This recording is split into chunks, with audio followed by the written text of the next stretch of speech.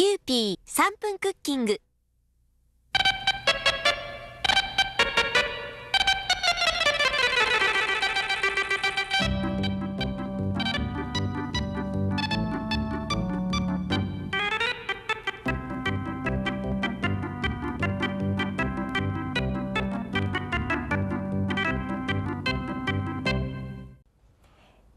こんにちは。今日はこの季節ぜひ一度作っていただきたい甘栗のポタージュです。ご紹介いたします。では甘栗から。はい、はい、このように今むき身で剥いてある皮の取れた甘栗が置いてありますので、はい。こちらを使っていきたいと思います、こちらは？はい、飾り用に取っておいてください、一つ取っておいてください。全部で 200g ではい。す。、そして旨味となる、え玉ー、ね。ぎですね。薄切りにしてください。はい、えー、3分の1個です。はい、旨味を出すためにええなるべく薄切りにしていきたいと思います、そして先生、繊維を断ち切るように切るんですね。そうですね。その方が早く炒まって旨味が出てきやすいですね。なるほど。はい、薄切りにしていきましょう。はい、なるべく薄くしてください。そうですね最後まで切りました。はい、しさましたら、はい、今度はじゃがいも、えー、スープのとろみになりますので、はい薄切りにした後に、えー、水にさらさないで使っていきたいと思います。もうでんぷんをはい生かすわけですそうですね。ちょうどはい、とろみになりますね。小さめのもはい。さあ、まず先生、玉ねぎをバター小さじ1杯で炒めました。とろりとはい柔らかくなりましりとなってきましたね、そこにスープを入れますはスープ2カップ、スープの素2分の1個溶いています。いこちらに先ほど切った水にさらさないじゃがいもを入れてくださいねはい。まずは先生、はい、ちょっと強火で、はい。沸騰してきたら弱火にして中火くらいですね。中火くらい。はい。蓋をしてじゃがいもが柔らかくなるまで茹でてください。蓋は少し外すんですね。はい、そして次に、えー、ブロッコリーを使った、はい。えー炒めサラダを作りたいと思います。はい。油大さじ1杯。ね。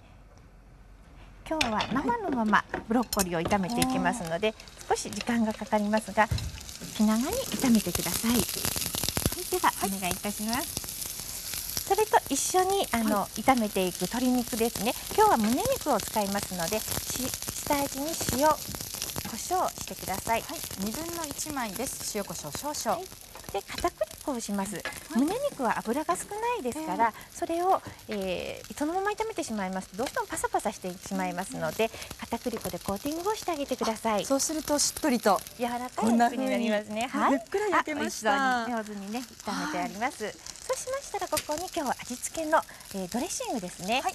今日は超低カロリードレッシングスッキリレモンです。ドレッシングで味付けというのは先生アイデアですね。そうですね。もう美味しい味がしっかりついてますのでさっとあとは絡める程度で結構です。レモンのいい香りです。さ先生あの自家炒めにしたブロッコリーの、こう美味しさっていうのははい、ブロッコリーがシャキシャキっとしていて、はい。茹でたのとは違ってとても美味しいですね。このぐらいに、えー、とろみが残るぐらい柔らかく。煮崩れてますねじゃがいもですね。じゃがは。いもはもうトロトロになっていて、はいそしてこれごと全部汁ごと全部入れてしまいます。はいでここでミキサーにかけていただきます。よいしょ。もうここではかなり滑らかにするん滑ですか？らかになるまでかけてください。はい少し残っているようでしたらもう一度フラッシュをして柔らかくしてください。はい、滑らかなピューレになりました。これをもう一度こちらのお鍋に戻してください。はい。そして火にかけます。そしてここで、えー牛乳で、えーとろみを濃度をね調節していきます。牛乳は1カップです。はいこれをゆっくりこう混ぜ合わせていくわけすねです。きれいに混ぜ合わせてください。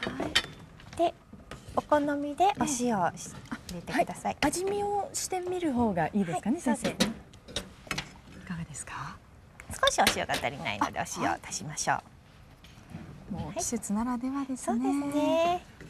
はい。さあ、で熱くしてはい召し上がってください。ではこちら見つけて。ふつふつと。そうですね。温まってきたところで、